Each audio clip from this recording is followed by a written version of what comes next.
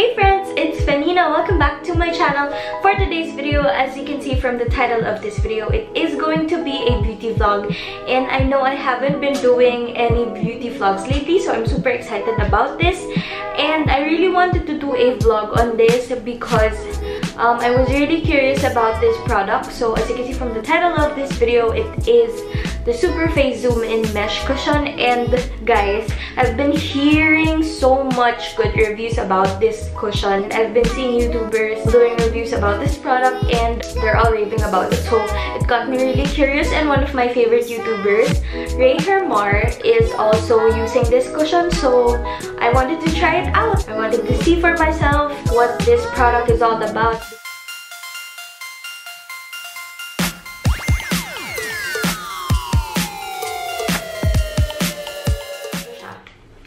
This is the cushion.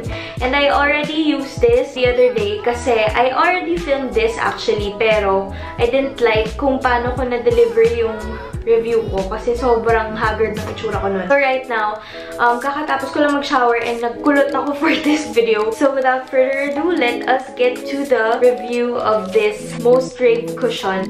This is the Super Face Zoom In Mesh Cushion and I got this from Caris. So just to show you guys what Caris is.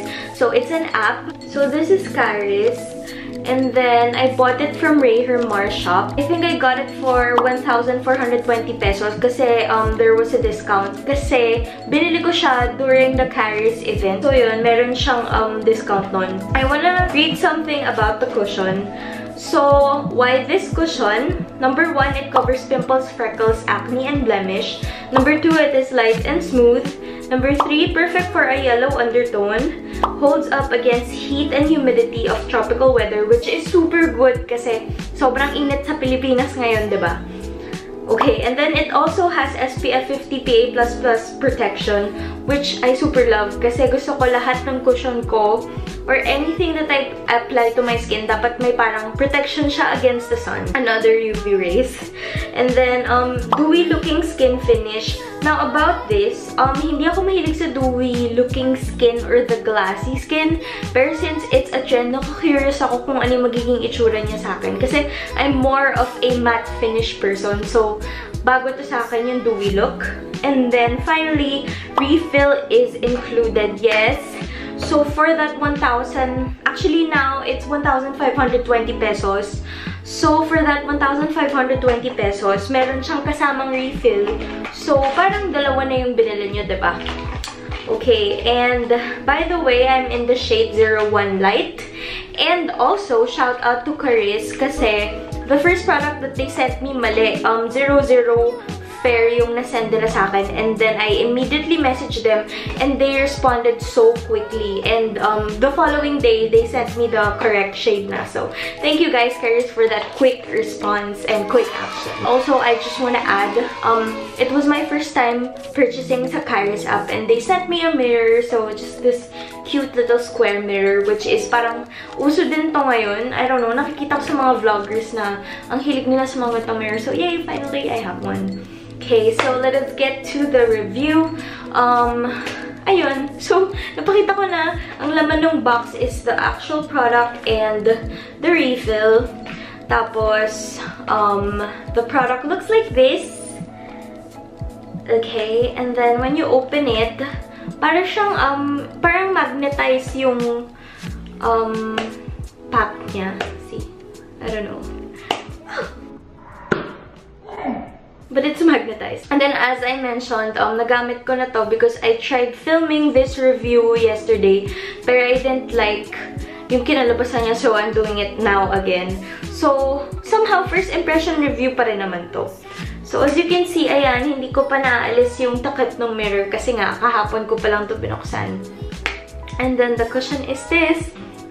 Okay, so let's try it na. Um, I'm just gonna use the camera so that you guys can see much closer kung ano yung itsura niya sa akin. Okay, so it looks like this. And yeah, let's start.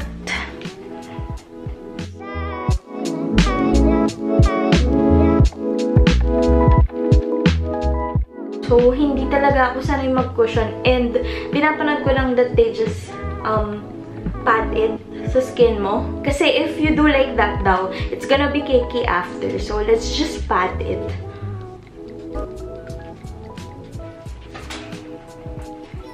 Oh my god, see?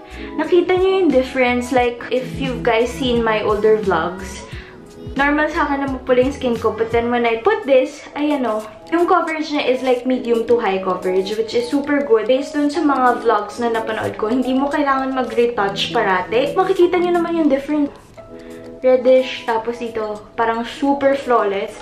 And nagigets ko yung dewy looking kasi, ayan o, parang shiny siya, which is super nice. And I think ang magiging problem ko lang dito is because yung eye bags ko talaga, sobrang matagal ko ng problema yun. So, I'm thinking if I should have put concealer first bago to. Pero yun, so far, I love it. And then, um, yung smell niya, hindi harsh siya. So, hindi siya nakakatakot gamitin. Kasi, may mga times na kapag harsh yung smell ng beauty product na ginagamit ko, parang nag-aalangan ako. Kasi parang feeling ko sobrang tapang niya. So, ito, hindi siya ganon. And, hindi siya sticky despite na dewy looking siya. It doesn't feel oily. And hindi siya dumidikit sa kamay. So, parang feeling ko nag-sink in siya agad sa skin ko. Parang second skin. Parang my skin but better talaga. So, yun. And, napansin nyo naman, isang ganun lang ginawa ko. Pero, parang halos half of my face na cover na. Eh, ang laki ng mukha ko. Siopaw yan eh. So, ang galing. Okay. Okay, I'm gonna do the other side na.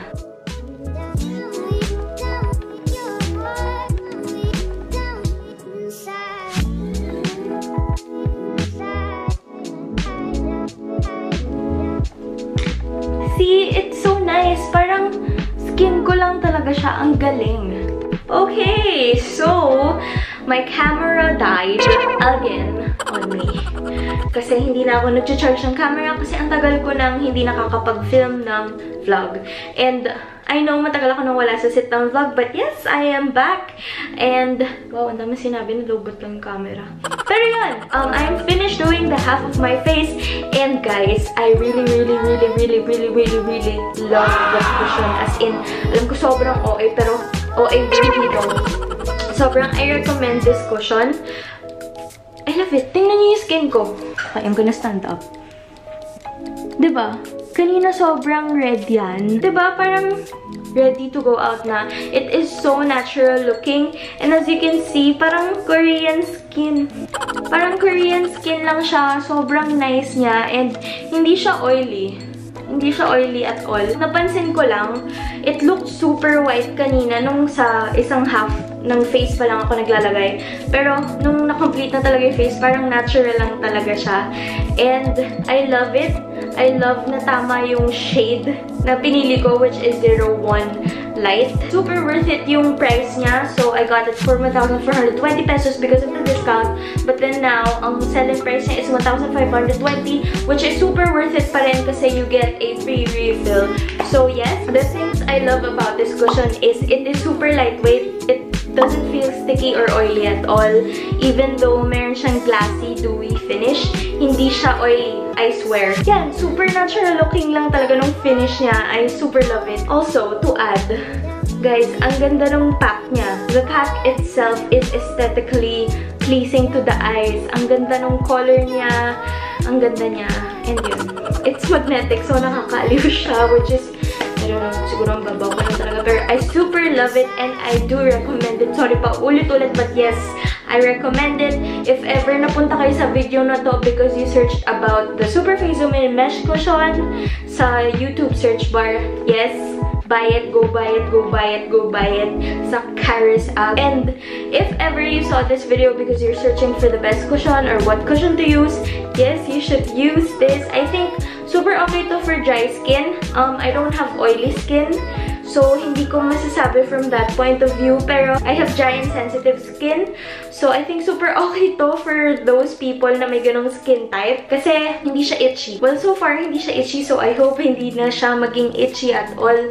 Because I love it. So, yeah. That is it for my vlog. I know ang tagal kong hindi nakapag-beauty vlog, so medyo rusty pa. But I hope you guys bear with it, and I hope it's okay with you guys. And I hope nakatulong ako. Ang daming hope. And I hope nakatulong ako if ever yeah, you were looking for something to learn about this cushion. And yeah, thank you guys for watching. Um, I hope you guys enjoyed it. Please do give this video a thumbs up if you like it. Subscribe to my channel if you haven't. And click on that bell icon to get notified whenever I post something. Thank you for watching guys. See you on my next one. Bye!